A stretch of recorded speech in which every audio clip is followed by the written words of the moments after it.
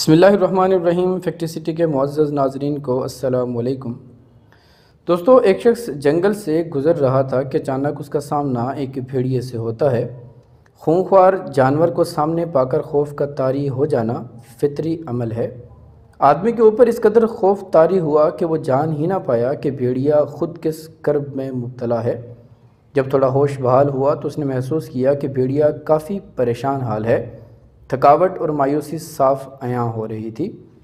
जब आदमी ने नोटिस किया तो उसकी कैफियत का अंदाज़ा हुआ और वो भेड़िए के करीब गया ताकि वो उसका बखूबी जायज़ा ले सके। फिर उसे मालूम हुआ कि ये एक मादा भेड़िया है जिसके कुछ बच्चे भी हो सकते हैं, क्योंकि उस मादा भेड़िया के निपल्स दूध से भरे हुए थे। उस आदमी ने इधर उधर देखा तो उसे एक गार नज़र आई। उसने भेड़िए की आवाज़ निकाली, मगर कोई बच्चा उस गार से बाहर ना आया। उसे जब बार बार भेड़िए की आवाज़ निकाली तो कुछ भेड़िए के बच्चे उस गार से बाहर आते हैं। वो बच्चे बहुत भूखे थे और भूख ही उन्हें इस गार से बाहर लाई थी। आदमी ने सारे बच्चों को एक बैग में डाला और जहाँ उनकी माँ थी वहाँ छोड़ आया। माता भेड़िया अपने बच्चों के लिए खड़ी होती है। अपने बच्चों को प्यार करने के बाद उसने बच्चों को फ़ीड कराना स्टार्ट किया। उस जगह से थोड़ी ही दूर उस आदमी को एक मरा हुआ हिरन मिला। आदमी ने पहले भेड़िए के बच्चों को गार में वापस छोड़ा और फिर मरा हुआ हिरन भेड़िए को ला कर दिया, ताकि वह ज़ख्मी मादा भेड़िया अपना पेट भर सके। भेड़िए काफ़ी दिनों तक उस खाने पर गुजारा कर सकता था। आदमी ने साथ ही एक टेंट लगाया और रात वहीं गुजारी। सुबह जब उठा तो उसने देखा कि भेड़िए के बच्चे उसके आसपास मौज मस्ती में मसरूफ़ हैं।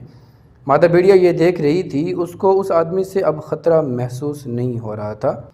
और आदमी को भी लगा कि अब वो शायद पास जाने दे और वो उसे फंदे से रिहाई दिला पाए। आइंदा कुछ दिनों तक आदमी वहीं रहता है और शी वुल्फ से बातें करता है ताकि वो कुछ और मानूस हो जाए।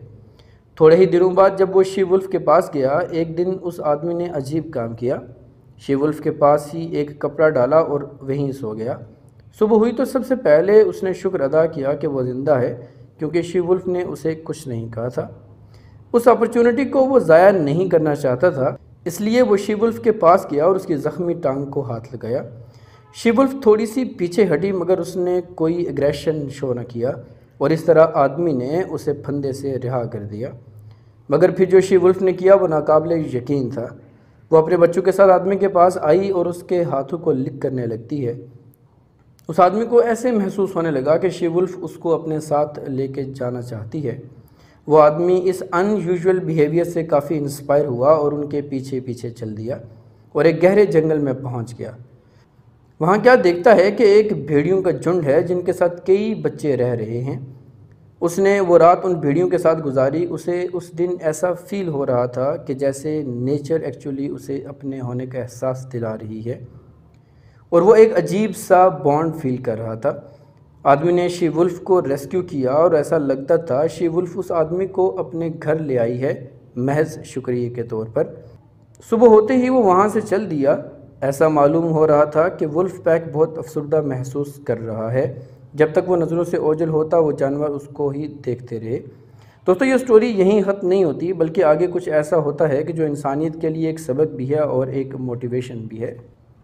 करीबन चार साल बाद वो आदमी उसी जगह वापस आता है जहाँ उसने शी वुल्फ को रेस्क्यू किया था और वहीं बैठ जाता है। थोड़ी ही देर गुजरी कि उसे एक रीछ उसे अपनी तरफ़ आता दिखाई देता है। वो दौड़कर एक दरख्त पर चढ़ गया, मगर साथ साथ रीछ भी उस दरख्त पर चढ़ने की कोशिश करता और ज़ोर ज़ोर से दरख्त को धक्के भी देने लगा। वो शख्स बहुत घबराया। उसी वक्त उसके दिमाग में आया, क्यों ना वुल्फ की आवाज़ निकाली जाए? क्या पता कुछ मदद हो सके? जब उसने वुल्फ की आवाज़ निकाली तो थोड़ी ही देर में क्या देखता है कि कुछ वुल्फ्स उसकी मदद के लिए आ जाते हैं। जब रीछ ने ये वुल्फ अपनी तरफ़ आते हुए देखे तो वो भाग निकला। उसके जाने के बाद वुल्फ भी चले गए, मगर एक शी वुल्फ वहीं खड़ी रही। गौर से देखने के बाद उसको मालूम पड़ा कि ये वही है जिसको उसने रेस्क्यू किया था। वो आदमी इस सब के बाद वापस तो चला गया, मगर कुछ यादें हमेशा के लिए साथ ले गया। कुदरत में बहुत सारी ऐसी चीज़ें होती हैं जो कानून और लॉजिक से परे होती हैं। नहायत कलील वक्त में खूंखर जानवर और एक इंसान कितने क्लोज़ हो जाते हैं, इसके मसाल ढूंढे नहीं मिलती। एक जंगली जानवर और एक इंसान के दरमियान भी अटूट रिश्ता मुमकिन है। उम्मीद है कि हमारी आज की ये वीडियो आपको पसंद आई होगी। वीडियो पसंद आने की सूरत में चैनल को सब्सक्राइब करके बेल आइकन को प्रेस करना मत भूलिएगा ताकि हमारी हर नई आने वाली वीडियो का नोटिफिकेशन आपको मौसू होता रहे। मिलते हैं अपनी अगली किसी वीडियो में। तब तक अपना और अपने से मुंसलिक तमाम लोगों का ख्याल रखिएगा। अल्लाह आप सबका हामी नासर। जजाकल्ला